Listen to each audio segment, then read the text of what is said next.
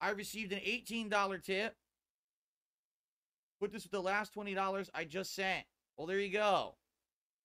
And then I received another $18 tip. Easiest W of your life, this person says. So I received two $18 tips, which not only means we hit the goal, it means we exceeded the goal. And it means that the Kings streak continues at two. It is official. The detractors are crying right now. They were thinking, it's over. Ha, he only got one and now it's over. And now they're going to poop their pants.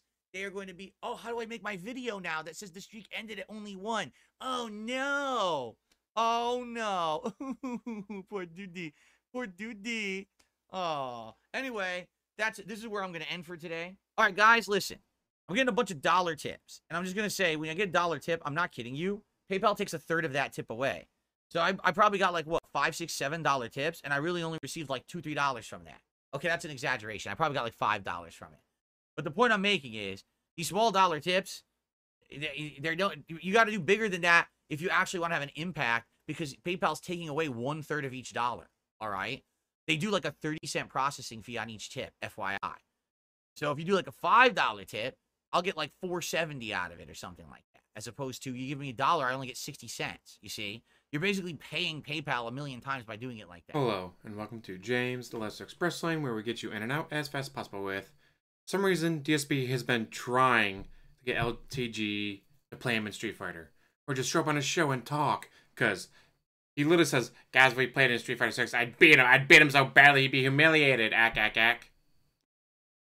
I don't know why. What is it about LTG that just attracts him so much? It's just crazy that there's just something about LTG that gets under DSP skin that makes him just want to get to him and talk to him and be with him and caress his fingers through his hair and look deep into his eyes soulfully. All right, maybe not that, but DSP then was responding like, "Well, he keeps talking about me." No, he doesn't. He only talks about you when you go after him first. Big enough, he responds, which is pretty funny. I'll have the link to the whole video down below. If that nigga don't have 10 bins for me, tell that nigga to shut the fuck up and stop mentioning me. It's just that simple. yes. For some reason, DSP keeps bringing him up, and then we'll bitch, well, he's talking about me too. No, he doesn't. Only when you bring him up first.